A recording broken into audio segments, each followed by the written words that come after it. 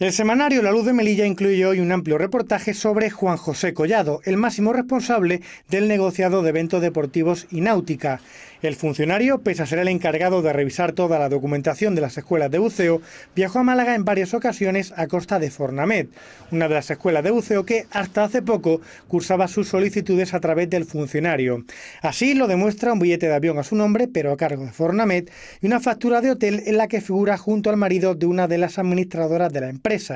Además, según un certificado firmado por uno de los administradores de Fornamed, le debía Collado a este administrador 50.000 euros.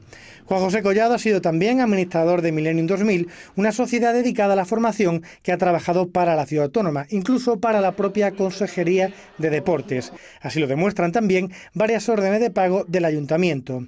Todos estos hechos podrían suponer para el funcionario una incompatibilidad según el Estatuto Básico del Empleado Público y según también la Ley de Incompatibilidades del Personal al Servicio de las Administraciones Públicas.